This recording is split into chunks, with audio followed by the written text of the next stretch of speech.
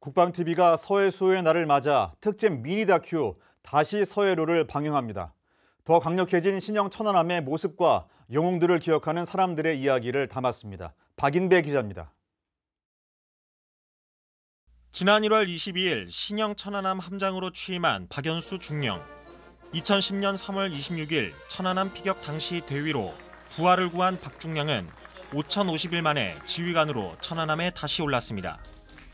전산 46용사가 목숨 바쳐 지킨 우리 서해 바다에 다시 나가서 끝까지 우리 바다를 지키는 것이 제가 할 일이라고 생각합니다.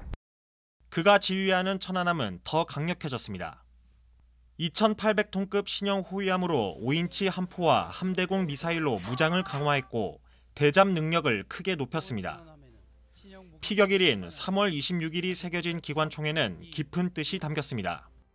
앞으로는 나 같은 어머니가 되지, 되주지 말라고 지정했고 영원토록 그 배가 아주 고장도 없이 영원토록 튼튼하게 나라를 대한민국을 지켜주기 바래.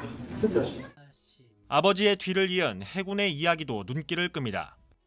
아버지의 꿈을 이어서 하고 싶다는 그 욕심이 커가지고 해군 군장 학생을 선택하게 됐습니다. 천안함장이 되고 싶은 게 제, 저의 제일 큰 목표이기도 해요. 고 문규석 원사의 말에 30년 넘게 산 부산을 떠나 이암대 앞에 식당을 차린 어머니와 전우의 명예를 지키겠다는 사명으로 다시 천안함에 오른 류지욱 중사.